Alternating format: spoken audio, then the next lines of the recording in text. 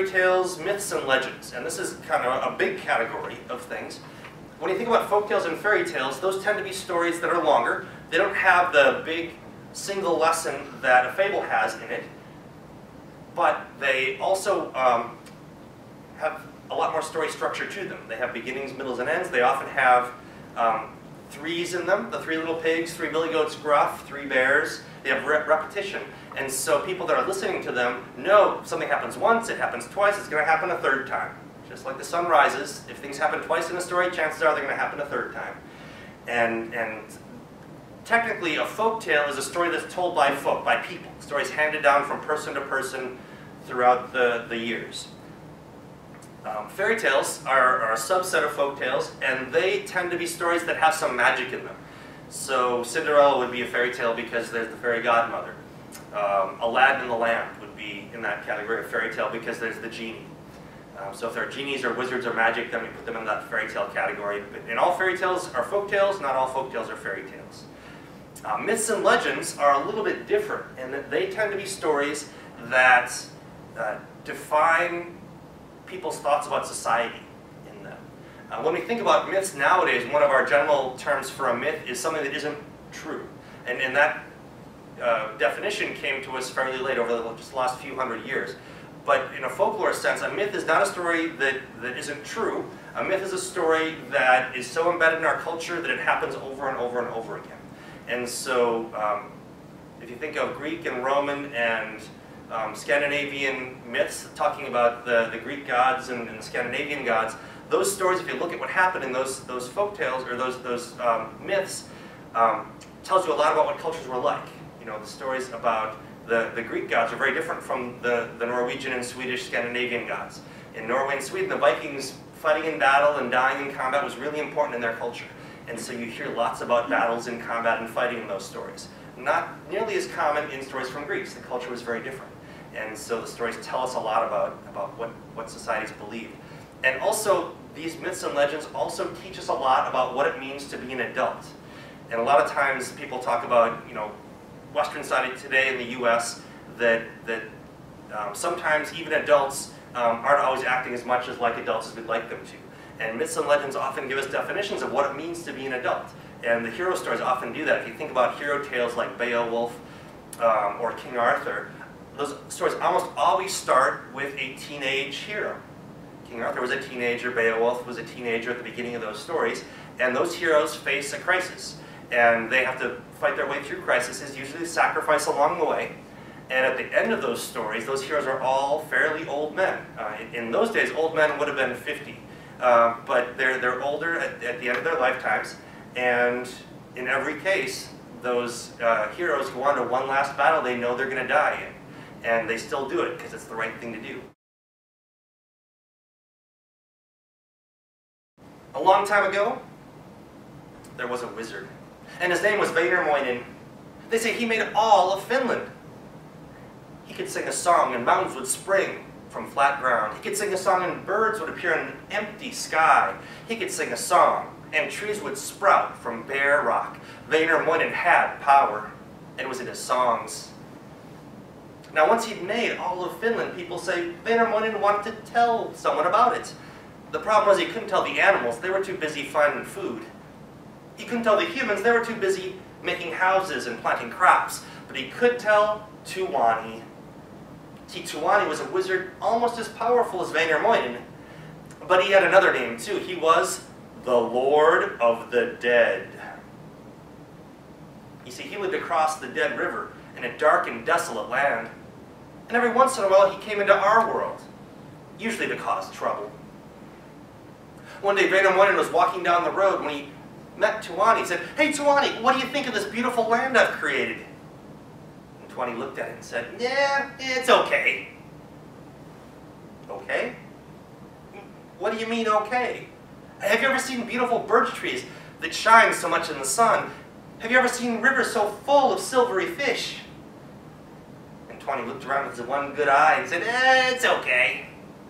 But, uh, you know, Wainamoinen, uh, those deer you have there in the forest, this winter, they're going to eat all the trees.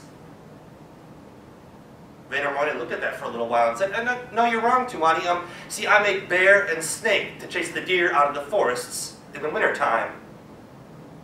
Yeah, but don't bear and snake sleep in the wintertime, Wainamoinen? The wizard hadn't thought of that. Well, you know, you're right, Tuoni. Say, since you saw the problem, maybe you can see your way through to a solution. Could you make a creature to chase the deer out of the forests in the wintertime? Tuoni thought about that for a minute and said, well, sure, on one condition. What's that? Well, I need some of your magic to make it happen. See, my magic can only kill things. I need yours to bring him to life. What magic words can you give me to make a creature? And thought for a minute and he said, All you gotta do once you've made your creature is whisper into its ear, up and devour the evil one.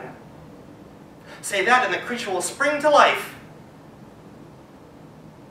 Tuoni smiled as he stomped away, thinking, We'll see who gets devoured this time, Wainamoinen. He walked down to a village of the humans, went to a blacksmith shop, and got a handful of nails and stuffed them into his pockets. He got two glowing coals out of the fire and put them in the palm of his hand. He went to a carpenter shop and got a great big roof beam and put it over his shoulder.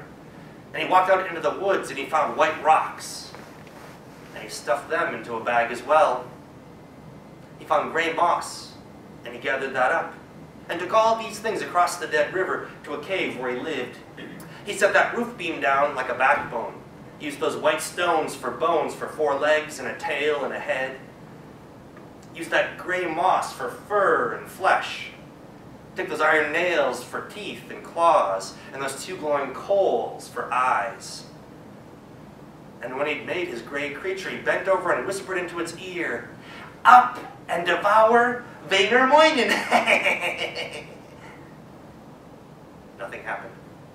Didn't you hear me? Up and devour Wainamoinen! Still nothing happened. Magic word Wainamoinen gave me didn't even work. I'm gonna go talk to that wizard. And he grabbed his creature and stomped off to Wainamoinen's house and pounded on the door. Wainamoinen, get out here. I want to talk to you. And when the old, old wizard opened the door, he saw Tuoni standing there and a gray furry creature lying on the ground behind him. Tuoni, it's not the creature you made? It, it looks very scary. Uh, uh, Tuoni, it's not moving. Of course it's not moving, Wainamoinen. The magic you gave me didn't even work. I want another magic word. Didn't work? You know, Tuoni, maybe it's how you're saying the words. You know, how you say something is just as important as what you're saying. Let me hear how you pronounce the words. Now, Tuoni did not want to show Wainamoinen what he'd been saying, so he bent very close to the creature's ear and whispered as quietly as he could, Up and devour Wainamoinen! Nothing happened. Now, even though people say Wainamoinen was old on the day he was born, he had really sharp hearing. And he heard what Tuoni was saying, and he knew what to do.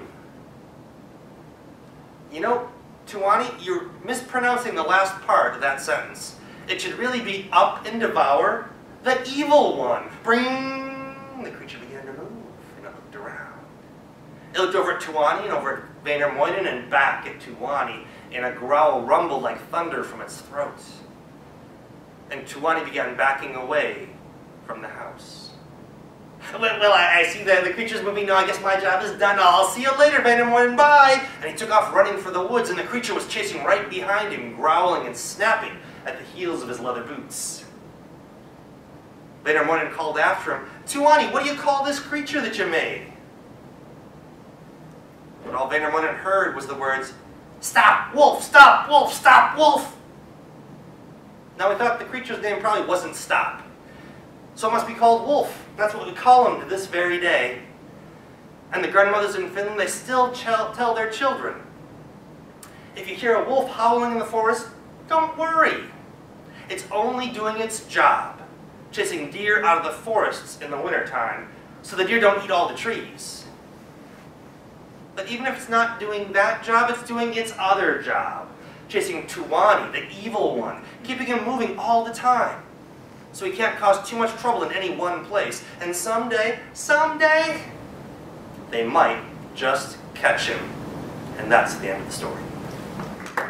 Now that story involves sort of a folk and fairy tale kind of story. Um, mythic stories often involve gods and goddesses, and sometimes heroes as well.